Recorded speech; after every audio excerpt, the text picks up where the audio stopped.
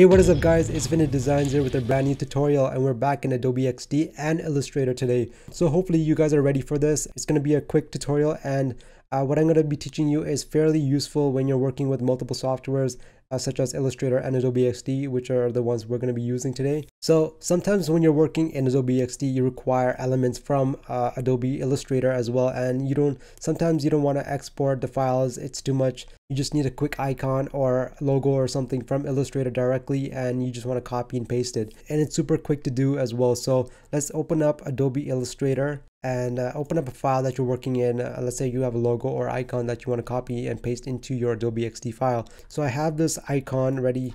I want to copy this icon into Adobe XD and we can do that very quickly by just selecting it, hitting Control or Command C on your keyboard to copy it, going to Adobe XD, select the artboard and then just hit command or control V on your keyboard to paste it directly into Adobe XD and you can see that it's it's there exactly the way you copied and pasted. If you actually go to the layers panel down here you can see that it's put into a group and the group is actually from Illustrator so it recognizes the layers and elements uh, that was used in Illustrator in Adobe XD. So you can go in and still edit the individual elements uh, and objects from this icon. So if I want, I can go and delete this circle if I wanted to. And I can select the circle, which is the background, and you can actually disable it or change the fill color of that as well. So let's say you wanted to make it blue.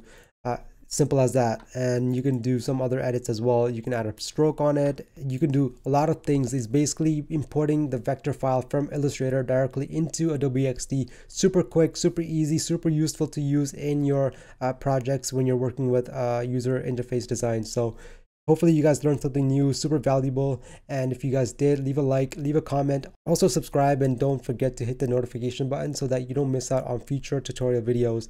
I have a lot of ideas ready, so hopefully you guys are ready to learn and just enjoy the process as a designer. I'll see you guys later. Peace out.